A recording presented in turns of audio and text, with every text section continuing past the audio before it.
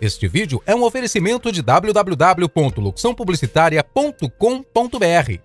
Seis coisas que você não deve pesquisar no Google. O Google é uma grande ferramenta que temos para pesquisas. Nele encontramos praticamente tudo, por isso é um ótimo aliado na hora dos estudos, pesquisas acadêmicas ou para entendermos melhor acerca de algum assunto. Porém, às vezes ele pode trabalhar contra você.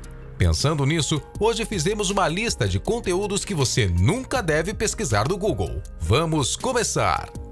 6. Seus sintomas. É muito comum para algumas pessoas tentar achar o significado dos seus sintomas no Google, e isso é um problema, uma vez que muitos sites que abordam sobre a saúde não são gerenciados por médicos e sim por outros profissionais. Ao invés de te ajudar, essas pesquisas vão acabar te deixando assustado e pior. Por isso, a nossa recomendação é que, se você não está se sentindo bem, procure um médico de verdade. Só ele poderá dar um diagnóstico correto. 5. Qualquer coisa criminosa.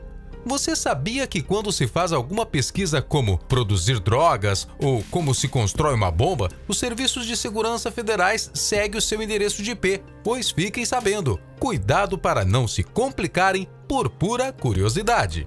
4. Animais perigosos. Esse é o tipo de conteúdo que tanto mais você pesquisa, menos paz você tem. Se não quer novas fobias, recomendamos que não se aproxime muito de listas que falem sobre isso. Existem muitos animais que são realmente perigosos e assustadores, e o pior é que muitos deles vivem na sua região e bem próximo de você. Informações como estas podem acabar te desmotivando a conhecer novos lugares, e você não quer isso, não é mesmo?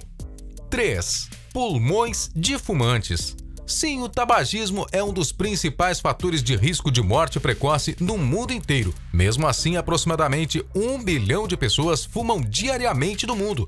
Sempre estamos pensando no mal que essa prática causa principalmente nos pulmões. No Google está cheio de fotos chocantes comparando o pulmão de um fumante com o pulmão de um não fumante e de sérios casos clínicos, e isso pode te assustar muito, principalmente se você está incluso no quadro de fumantes. Por isso, recomendamos que pesquise essas imagens se realmente você precisa de uma forte motivação para parar com o uso. 2. Seu nome.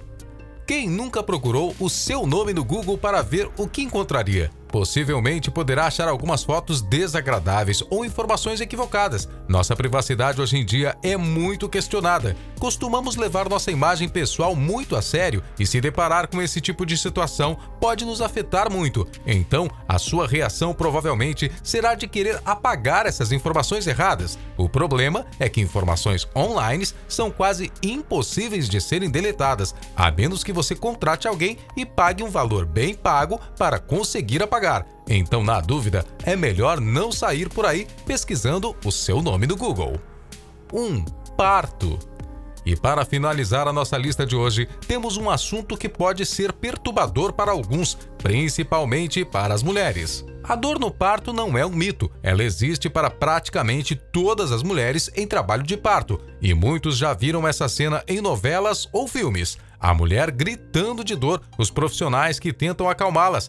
Dá para perceber até pelo próprio filme o quanto esse momento é agonizante e estressante para algumas mulheres. Pesquisar esse tipo de assunto e olhar imagens sobre isso pode acabar sendo muito traumático para algumas mulheres e acabar desmotivando aquelas que pensam em ter um filho. Por isso, pensamos que esse tipo de pesquisa não é saudável, a não ser, claro, que você não tenha pretensão de ter um bebê. E aí, ficaram surpresos com a nossa lista? Vocês já fizeram algumas dessas pesquisas? Ou pesquisou sobre algo que te deixou bem arrependido? Esperamos que não. Por hoje é só. Fiquem com Deus e até a próxima com mais um Descortinando.